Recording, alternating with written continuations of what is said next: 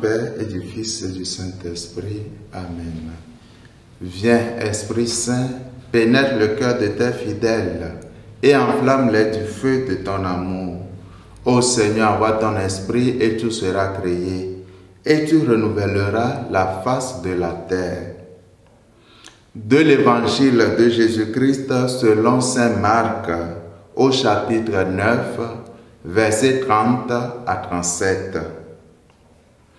En ce temps-là, Jésus traversait la Galilée avec ses disciples.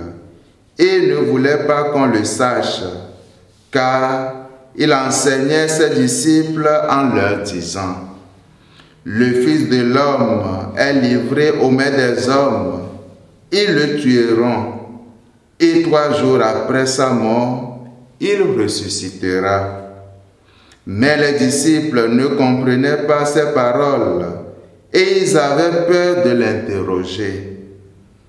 Ils arrivèrent à Capharnaüm et une fois à la maison, Jésus leur demanda, De quoi discutiez-vous en chemin?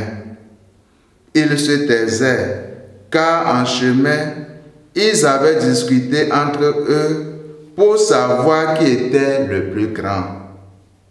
S'étant assis, Jésus appela les douze et leur dit, Si quelqu'un veut être le premier, qu'il soit le dernier de tous et le serviteur de tous.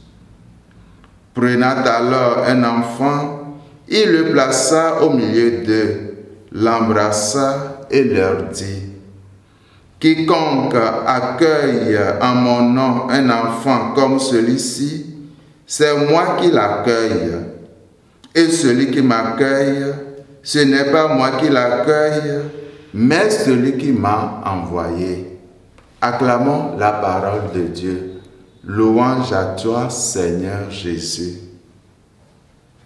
Jésus, dans l'évangile de ce matin, nous rappelle que pour être grand, il faut se faire petit. Cela ne veut pas dire avoir une conduite ou un comportement infantile ou encore immature.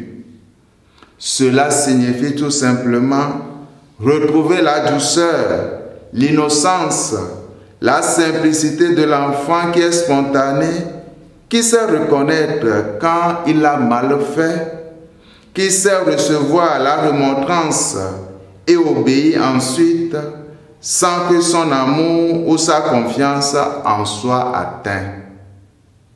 Pour le Christ, le plus grand n'est pas celui qui a le plus de pouvoir ou d'autorité. Ce n'est non plus celui qui a le plus de richesse. Le plus grand est celui qui, dans l'humilité vraie et sincère, sait se faire le serviteur de tous pour l'amour de Dieu.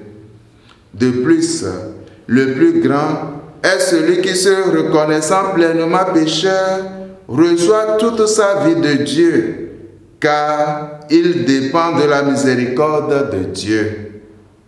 Que Dieu nous aide par son amour à pouvoir être humble dans tout ce que nous faisons pour lui et pour nos frères et sœurs. Amen.